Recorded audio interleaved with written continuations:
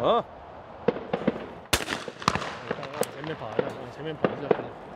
没有关系，没有关系，你不要看看洞口就好。那也没关系啊，看洞口就好。从早上九点一直训练到下午四点，哦，下午四点。那四点过后来讲的话，梦岩他就会有那个什么安排，那个什么那个体能训练。啊，我们就有体能专任的体能训练师的话，帮他再训再两个再两个小时，两个小时的重量训练。哦，加强他的核心肌群啊，还有那个什么各方面的肌耐力的支撑嘛。从他再回来之后，对他基本上是没有间断。对，哎呀，有的人可能练一练，很多选手就这样遇到低潮期，可能我就放弃了，对，就不要，对啊。可是他低潮的时候，他还是会想办法度过那一个低潮期。